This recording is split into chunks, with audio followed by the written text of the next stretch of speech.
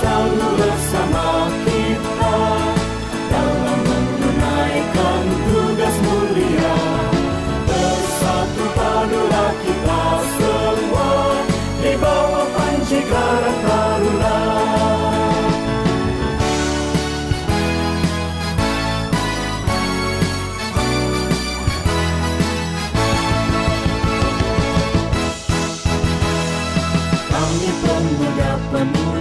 Indonesia Yang tergabung satu dalam Karang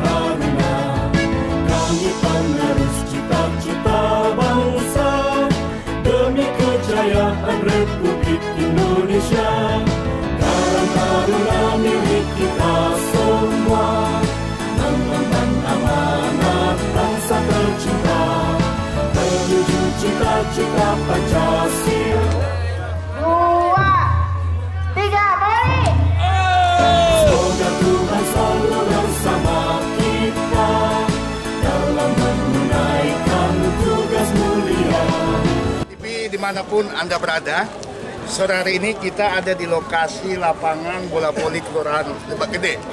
Ada turnamen eh, Karang Taruna ya, eh, Cup ya. Di sini kita akan coba bincang di mana tadi kata sambutannya sebagai tokoh masyarakat Kota Cilegon dan juga di Pulau Merak khususnya. Beliau adalah Ketua Kadin Kota Cilegon yaitu Bapak Haji Saroji. Ah, selamat sore. Sore. Izin ah, izin waktunya nih. Apa pesan kepada panitia khususnya pemuda pengurus Karang Taruna Lebak Gede? Ya, yang pertama saya mengucapkan dan mengapresiasi terhadap Karang Taruna Kelurahan Lebak Gede yang memang eh, sebagai ketuanya si Rismanto dan seluruh jajaran Karang Taruna mengapresiasi kegiatan turnamen ini yang positif dan saya yakin ini akan menjadikan bagian daripada kinerja Karang Taruna Lebak Gede sebagai catatan bahwa dia mampu melaksanakan kegiatan Karang Taruna karena Karang Taruna sesungguhnya bagaimana membangun anak-anak muda belajar menjadi anak-anak muda yang membangun sosial.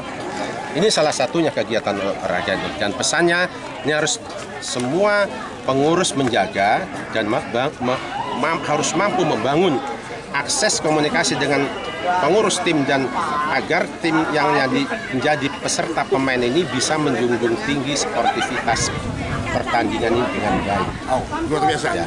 Sahabat Lugas TV, saya mau tanya lagi nih, ah, Pak Haji. Siap. Ini kalau nggak salah ini tingkat sekecamatan juga yang bertanding Ya, di Pulau Merak. Adakah harapan nanti piala bola voli khusus Ketua Kadin Sekota Cilegon ke depannya? Ya, tidak ada yang tidak mungkin. Ketika memang ada nanti pertandingan yang untuk Cilegon, kapasitas Kadin pada kapasitas Cilegon, apa yang tidak mungkin ketika memang kami dilibatkan diundang seperti hari ini di, di kecamatan ini, kami pun siap untuk itu memotivasi, mensupport kegiatan itu. Dan saya dengan Ketua Karang Taruna Cilegon ini sangat dekat hubungannya. Dan setiap ada event-event eh, kegiatan seperti ini, kami selalu diundang oleh Karang Taruna. Kemarin di eh, Gerem, Kelurahan Gerem, turnamen seperti kami hadir undang kami pun mensupport mendukung. Wow. Jadi kita memang suka dengan kegiatan anak-anak muda yang memang positif seperti ini. Intinya ada kemungkinan untuk tingkat Kota Cilegon. Sangatlah, kenapa tidak Bang Lugas? Kita kan sebagai senior dari anak-anak ini harus mensupport, mendukung kegiatan anak muda, ya kan? Karena kita pernah muda, kita pernah muda, kita tahu dan paham apa yang diinginkan anak-anak muda. Kalau anak-anak itu belum belum tua seperti saya kan, jadi dia nggak tahu perasaan apa yang saya rasakan itu. Oke, terima kasih. Ah, Abah, demikian sahabat Lugas TV yang bisa kami sampaikan di titik lokasi di lokasi Kelurahan Lebak Gede lapangan bola voli.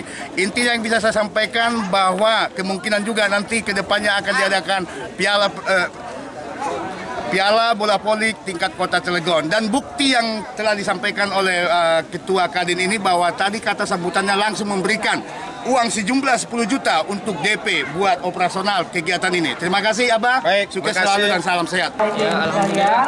Sambil menunggu Pak Wali yang dari sedang dalam perjalanan yang khususnya Kelurahan ke Lebak Gede. Dan dari donatur-donatur eh, yang seperti kita tahu dari Ketua Kadin Kota Cilegon, dan dari pengusaha-pengusaha lokal juga alhamdulillah sangat mendukung dan mensupport juga baik moral maupun eh baik moral dan material juga. Kalau ini kegiatan agenda tahunan atau gimana? Insya Allah ini jadi agen- agenda tahunan Karang Taruna Lebak Gede dan di sini juga kita mengadakan piala piala bergilir untuk lurah Lebak Gede juga. Ya, ada lagi? 36 peserta dari empat kelurahan sekecamatan Pumerang. Ada lagi? Oke.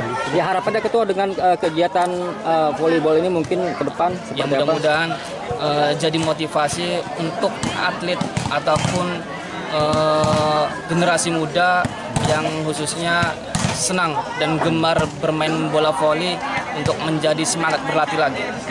Siap. Kemarin kita sudah melakukan kemarin itu di Cibedus, terus kemudian di Ciwandan, hari ini ada di Lebak Gede.